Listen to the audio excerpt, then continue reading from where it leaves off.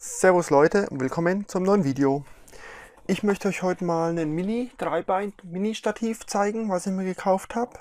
Und zwar ist es hauptsächlich für mich zu Hause, für meine Videos, die ich dann immer hier am Schreibtisch mache, um nicht immer so ein riesen Stativ aufwarten, aufstellen zu müssen, weil es dann doch schon ziemlich viel Platz wegnimmt. So sieht das Ganze hier draußen auf und ich habe das jetzt schon mal hier ausgepackt. So wird das Ganze geliefert hier. Es ist einmal eine Anleitung mit einem kurzen äh, Schlüssel, wo das Ganze beschrieben wird.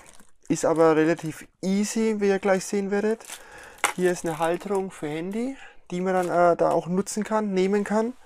Und dann natürlich noch die Tasche mit dem Stativ.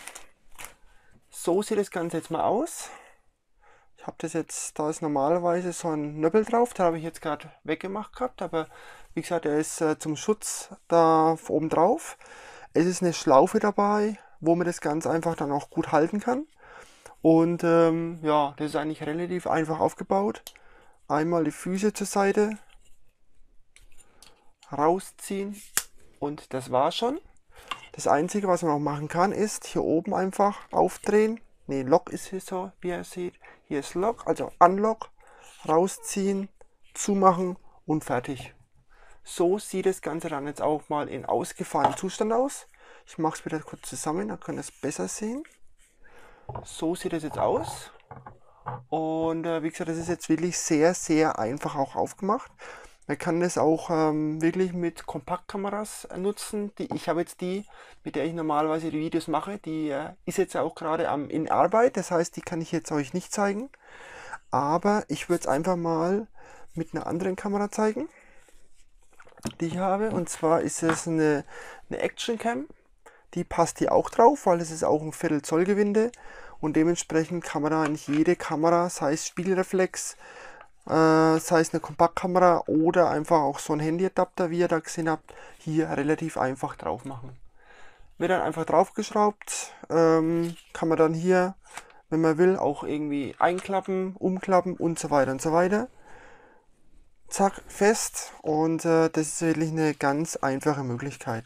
Das heißt, ihr seht auch schon, man kann es auch einfach in die Hand nehmen und kann damit auch äh, gut filmen, kann ein bisschen rumgehen, kann dann auch schnell die Beine aufklappen.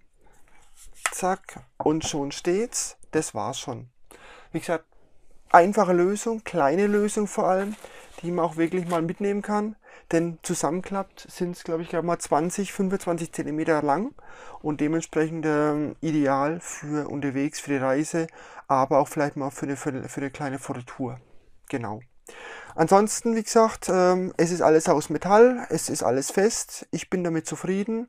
Ich habe jetzt meine letzten Videos damit schon gemacht und äh, da mache ich es meistens so, dass ich hier so aufrecht das Ganze mache.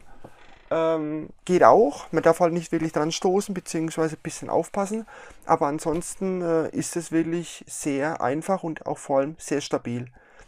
Das einzige vielleicht noch als Bemerkung, Spiegelreflexkameras kann man auch drauf machen. Da muss man aber wirklich darauf achten, dass die Balance auch einigermaßen passt. Hier darf man nicht einfach was drauf machen, weil dann kann es natürlich umfallen, weil es ist ja trotzdem nicht das größte äh, Stativ, was ich jetzt auch habe. Gut. Jo, das war es jetzt von mir. Wenn ihr jetzt noch Fragen haben solltet zu dem ganzen Thema, meldet euch einfach bei mir in den Kommentaren und ich würde mich dann kurzfristig bei euch zurückmelden und euch eure Fragen oder auch eure Rückfragen, die ihr vielleicht bestimmt auch habt, beantworten.